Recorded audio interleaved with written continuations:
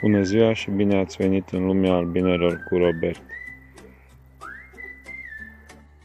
Bună ziua, suntem în lumea albinelor cu Robert și am zis că o să fac un, uitați și o albinuță îmi intră în stupul fică mea, o să fac un uh, studiu de, de caz uh, la roiul acesta, să urmărim cum uh, va reuși să evolueze și în principiu de ce nu e bine să iernăm pe două rame de albină sau de ce nu e indicat. Uh, și am zis că o să urmăresc în același timp și stupul făcut din polistirenul ăsta tip sandwich, să vedem cum se va descurca.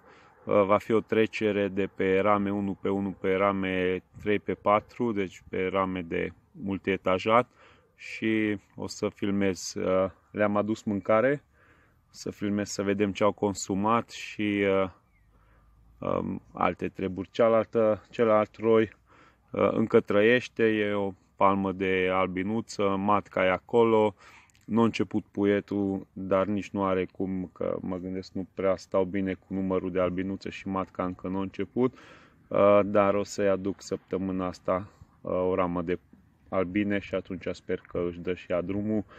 Acum să vedem cum va fi cu frigul. Cu noaptea a fost minus 4 grade, uh, ziua îi 8, 9, 10 grade și uh, să sperăm că va trece acum.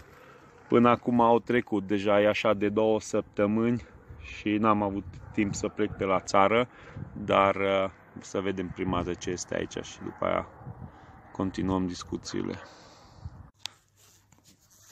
Se aude cum zumzăie și problema e că mi-am uitat masca.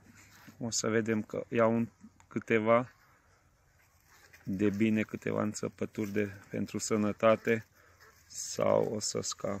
Și vedem sacul de rafie și îmi sunt albinuțele. Așa. Și polistirenul nu un pic o să pun în pauze să vedem ce este, deci consumul. Așa.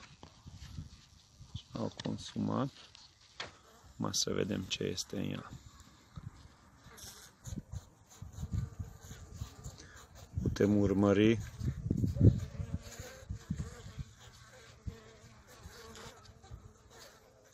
sunt la treabă și și acolo. A venit și mai în spate, vedem, așa, și să vedem ce este în ea. Iată ce avem în ea.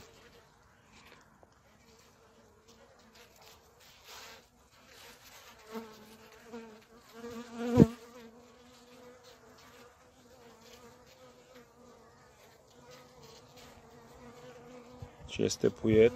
Să încerc să-i suflu un pic. Deci cam așa am o palmă bună de puiet, dar nici nu o țin deschisă. Am suflat un pic. Deci cam așa arată și pe partea aia altă. Deci îți de părere că va supraviețui și va încerca să uh, se dezvolte și fără ajutor. Deci asta nu o să ajut deloc cu uh, rame, să vedem cum se va descurca. Am desfăcut un pic, am zgâriat mieri acolo să vedem cum se va dezvolta încolo, dar a, așa arată și pe partea cealaltă tot așa ca să încălzească puietul. Ok, am și închis stupul în o secundă.